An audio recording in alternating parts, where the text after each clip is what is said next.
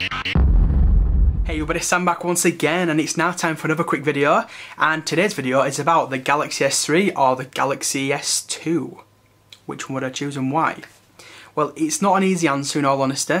It boils down to a few questions. One is price. What is your price? If you don't have a price and it's gone on contract and you're going to go for a high-end contract, get the Galaxy S3.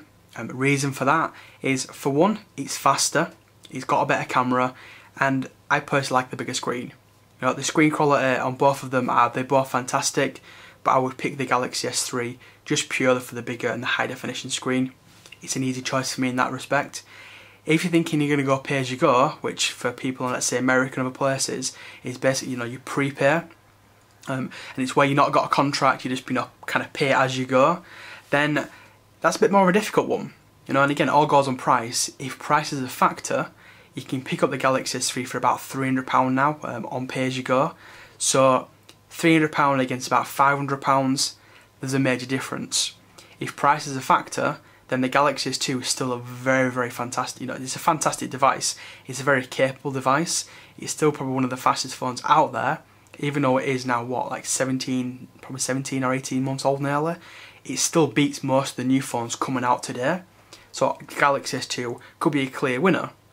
But again, if price is no issue, you have to go Galaxy S3 if you want that bigger, bigger and better screen, better camera, and all in all, just a better experience. You know, you get the whole new features, which some of them may come to the Galaxy S2, but likely it probably won't.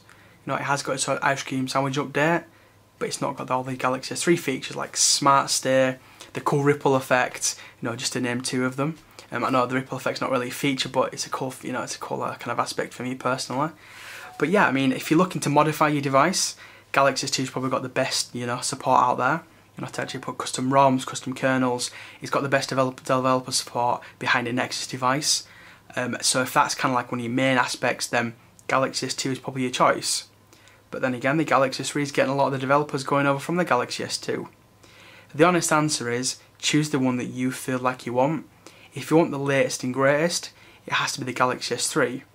If you want a phone that's not going to break the bank as much as the Galaxy S3 would, but you still want a very capable device, the Galaxy S2 is again is that would be my choice. Get the Galaxy S2, you know, for a pretty decent price now, and you're getting a lot of low-end contracts as well. We know in America, I don't know what the contract prices are. I think they're all about two hundred dollars regardless of what phone you get. So get the Galaxy S3. But in places like England, then at the moment you can get like a Galaxy S2 like twenty pounds a month whereas the Galaxy S3 is generally about £36 a month or around 30 to 30 to 40 pound a month. So you're going to pay nearly you know nearly double the price in some in some places. And again it all boils down do you want the latest and greatest or do you want to save some money?